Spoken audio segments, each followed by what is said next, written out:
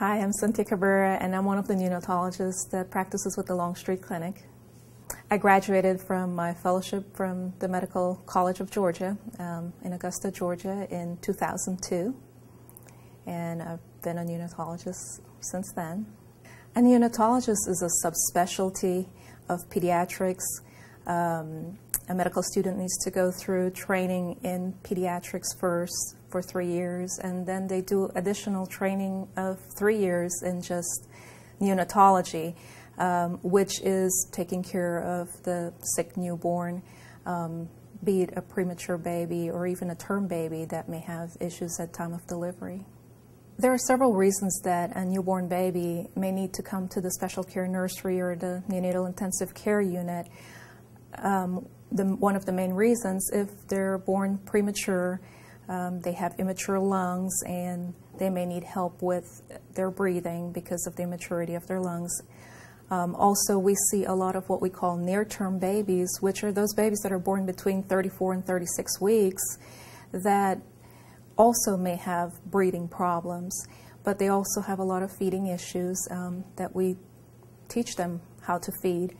And um, even the term babies can have problems with if the mother has gestational diabetes and um, they can have something called hypoglycemia, which is low blood sugar, and may need some constant infusion of IV fluids for them to stabilize their sugar. Um, that's just some of the reasons that they may need to come to us. I've been working as a neonatologist here at Northeast Georgia Medical Center since 2005.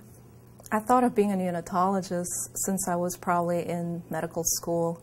Um, when I did my pediatric rotation, I really enjoyed working with the children, but it was when I was introduced to the newborn um, that I really felt a click there, that that is where I really wanted to spend my time to help this vulnerable population and help families through this difficult time when it's supposed to be their most happiest moment. What I like best about being a neonatologist is being able to be involved in this newborn infant's life from the beginning um, and being able to help them with whatever problem they're struggling with, and also helping the families cope with what is happening to them and incorporate them in, in their child's care. Um, making a mother smile at least once a day is, is a very good day in the NICU.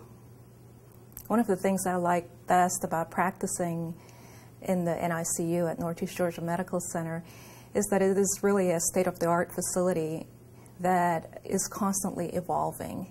Being a part of the creation of a level three nursery is is truly very rewarding, and you can see the changes as the years go by, um, how we have progressed, and we are very developmental in our care and working as a team. What makes the nursing staff and our support team here very unique is that we have nurses that have been working here for many years, and so the turnover rate is very low, which there's a lot to say about that in, in any field. And they truly enjoy the job that they're doing. They have a passion for what they do. They have different skills there are nurses that like taking care of the critically fragile premature baby, and there are those that like teaching the families how to feed their infant and prepare them for going home. And both jobs are just as important, and the fact that they take pride in doing what they're doing is, is, is very rewarding. I think what is unique about our practice here at Northeast Georgia Medical Center is that we are two physicians and two nurse practitioners, so we're a small group, and we approach each patient as a team and also incorporate the families in our decision making of whatever um, we are discussing at the time. Um, it helps with continuity of care for that particular baby. It gives the family a plan for the day to follow, and they really feel a part of their child's life at that time.